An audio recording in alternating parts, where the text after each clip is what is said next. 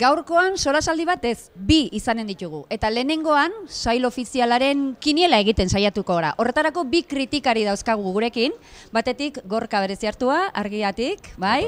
Eta bestetik, Mikel Zumeta, berriatik gaur. Opa, Bueno, zer moduz?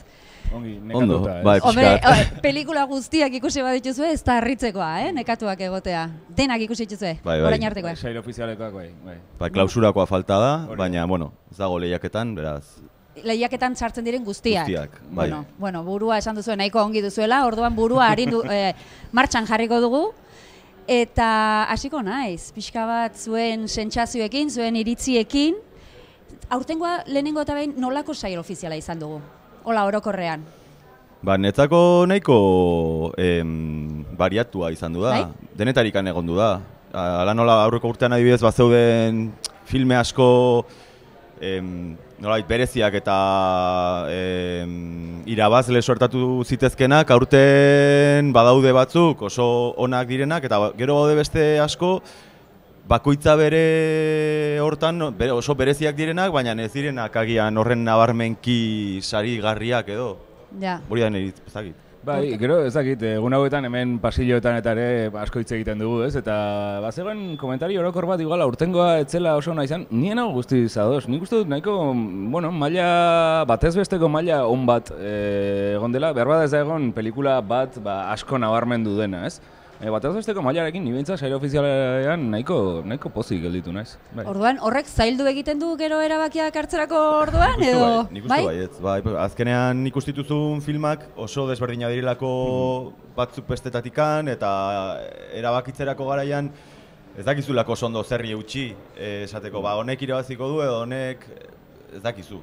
Claro, epaimaikidek ze irizpide jarraituko dituzten, Hori ere mundu, mundu bat izaten da, ez urtero epaimai desberdin bada, bakoitzak bere joerak eta gainera askotan oso markatuak ere izaten ditu, ez, bere lehentasunak, orduan auskalo, ba, bihar ze, zer ikusiko dugu. Bueno, auskalo horretan, nik eskatuko dizuet pixka bat bustitzea. Hmm. Eta, bueno, urrezko maskorra emanen dute bihar, nork irabaziko duen, nork jasoko duen, edo nork dituen aukerak zuen ustez.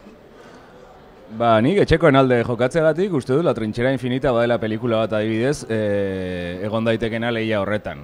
e, edo egon beharko lukeena, ba ez dakit, epaimai kideak biltzen diren gelan gauza arrarori gertatzen ez baldin bada. Nik uste dut, e, bueno, ezagutzen genuen handiatik, e, loreaketik eta bar, ze gaitasuna duten moriartikoek alako pelikula borobilak egiteko, ez? Eta, bueno, ba, uste dut aurten ere erakutsi dutela ba, gai direla eta gainera gerra zibila bezalako Bai. gai bat ekarriz, ez? Beraz, bueno, ba, izan daiteke, izan daiteke adibidez pelikula bat. E, nire ustez irabazi dezakena maskorra, zera raio. Bai, bai. Mikel, zu gustiko zara?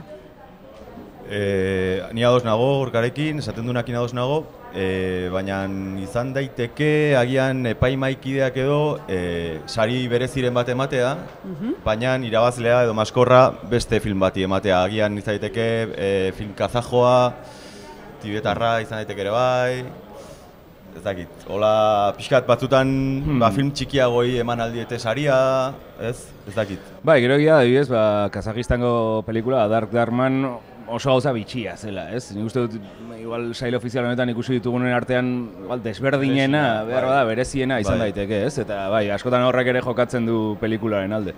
E, bai. Hori Bai. filmen dagokienez, urrezko maskorra horri dagokionez. Bai. Zuzendari honenetara joaten magara?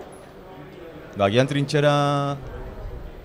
Nik uste dut, bai, trintxera, baizu, e, duen iraupena bi ordu eta erdi lortzen zaitu eutxita mantentzea e, besaulkira, eta kontatzen duen guztia, kontatzen duen moduan kontatuta e, egonda, esan nahi dut, ikustuzu filme guztia protagonistaren begien bitartez, e, ze perspektiba edo ze ikuspuntu erakusten dizun, e, nola erabiltzen ditun, e, gidoi aldetikan ba, etengabean e, erakusten arizkizu trama desberdinak edo e, nola baiteko gako desberdinak, e, zu etengabean e, ba, hori da, ezta? zintan jarraitzeko eta intrigatuta egoteko eta ez da horren erresa esan dut azkenean protagonista etengabean e, lugaki batean dago eta gauza asko gertatzen dira eta hori dena eraikitzea eta e, modu horren dinamikoan egitea e, ba, horrek lan asko eskatzen du eta nik uste dut e, ba, ba, bai izan daitekela irabazle.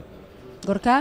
Bai, e, aukeretako bat dudari hori ikusten dut, ba, ez dakit, behar ba, ba, beste aukeraren bat, ba, ez, de audition ere iruditu zitzaidan pelikula berezi bat, Ez dakit, e, bueno, zuzendariarena baino, adibidez hor oso nabarmen nire ustez zen, aktore, emakumezko aktore nagusia oso ondo Bai, zegoen pelikula bai, horretan bai. ere. Zan daiteke ere, bueno, ez dakit da pelikula bat alako tentsio psikologiko bat daukana, e, ez dakit, transmititzen ditu alako sensazio desatsegin batzuk, baina hori ere lortu behar da, ez? Eta alde horretatik ere, ez izan da behar bada, pelikula bat harritzen zaituena, bai, bueno, ez dakit, zerbait badauka ere, ez? Beraz, bueno, aldatzeagatik, eh? Bai. Trintxera, trintxerak ere uste dut baituela aukera handiak, noski. Bai, bai, ni hor, eh, gorkakin dauz nago nina jost, em, aktoresak oso lan hona egiten du, eta nik uste dut ez dela gehiagia aipatu ez dara, ez? Eba Green aipatzen zuten, Belen Kuestak oso lan hona egiten duna, eh, Greta Fernandezek ere Mm. oso ondo egiten du, baina Nina Josek hor badauka, Hmm. ostra, puntu oso interesgarria. Bueno, aktore honenari ere saria, bueno, aipatu duzuen horri izan daiteken orduan, Bai, zuentzat, bai, ez? Bai, bai. Bai. Galdetu nahi nizuen lehen, la trintxera infinitak zerbait jasoko duen, baina, bueno, zuk esan duzu urrezko maskorra jaso dezakela. Zuk esan duzu agian, bueno, berezia den beste sariren bat. Gero jarri duzu ere, zuzendari, jarri duzue, zuzendari oberenetan ere. Baten bate etorriko alda.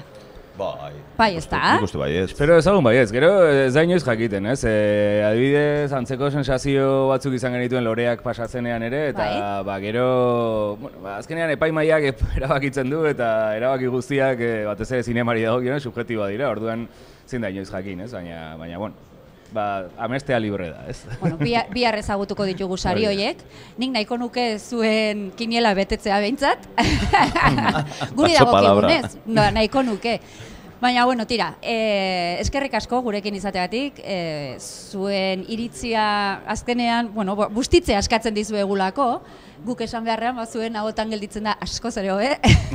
eskerrik asko gurekin izateagatik, bale?